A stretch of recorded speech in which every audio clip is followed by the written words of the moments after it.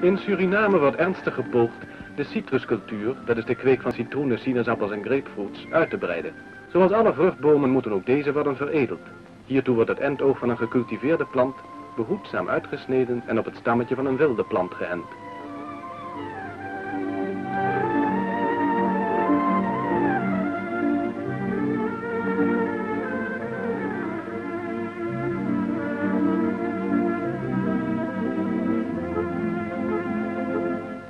Na korte tijd verschijnen de eerste loten.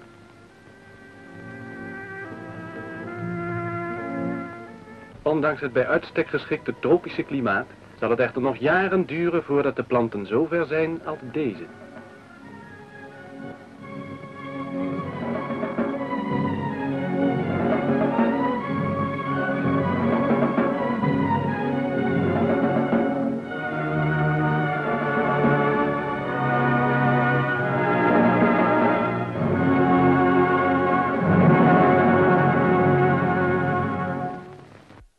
De Brigitta-boom van